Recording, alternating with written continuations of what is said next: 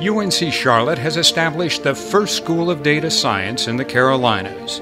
This innovative industry university partnership, led by the Belk College of Business, the College of Computing and Informatics, the College of Health and Human Services, and the College of Liberal Arts and Sciences, is leading the charge in data science education and research throughout the region. Being the third in the country with the School of Data Science is a great thing for the university and the region to be able to understand the importance of this field as we are moving into the future uh, with all the different job opportunities and applications of data science. As the university, we've been working in this area of data science for over a decade.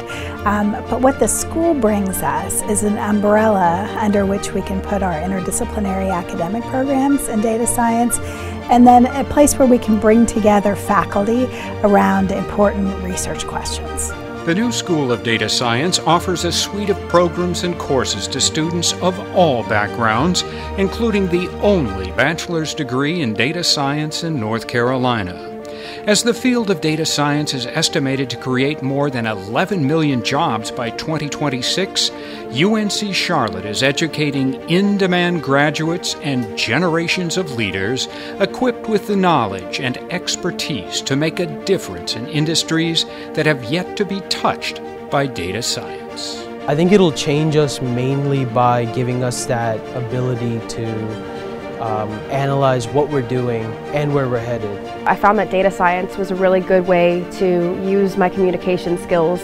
You need to be able to relay your findings from your data in a way that um, actually makes sense to make changes within an organization.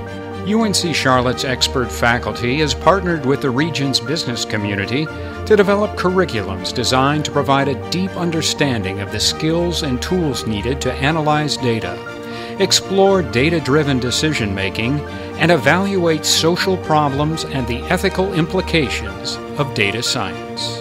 Many times, business partners who don't know what analytics can do um, don't even know what the possibilities can be. And so, what we end up offering is solutions that they may not have thought about. It allows us to prepare new students for this, this new age of technology and development in ways that we can't even imagine right now.